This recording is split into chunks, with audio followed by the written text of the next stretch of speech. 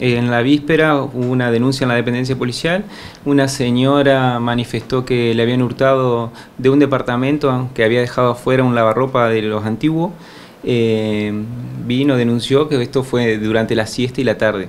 Eh, personal de investigaciones se abocó al hecho, consultó a los vecinos, eh, dieron con una persona de sexo femenina que supuestamente lo había llevado, se fueron hasta el domicilio, consultaron a la señora, la señora dijo que sí, que había pensaba que estaba en estado de abandono y lo entregó.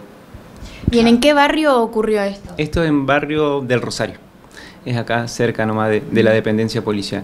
Bueno, ante esto nosotros dimos intervención a la unidad de atención primaria de la ciudad de Paraná a cargo de la doctora Guzmán, quien dispuso la entrega a su propietaria. El personal de investigaciones siempre se va y se entrevista con, con los vecinos, por ahí alguno puede aportar algún dato de interés a la causa, otros no dan sus nombres, pero por ahí todo dato a nosotros nos sirve hasta llegar a, a un lugar cierto o puntual con respecto a un hecho que se investiga. En este caso fue el lavarropa, se pudo localizar a la persona que lo había llevado y bueno, y el recupero del mismo. Todo sirve, son indicios que, que nos indican a llegar a un punto exacto, un secuestro o lo que se esté investigando. Nosotros volcamos un informe, unas actuaciones que se hacen de rigor acá en la comisaría, se abarca la denuncia, un acta de procedimiento, un parte informativo de lo que es la parte de investigaciones y nosotros se lo derivamos a la magistratura interviniente, en este caso a, a cargo de la doctora Guzmán, bueno, después ella dispondrá las medidas a seguir.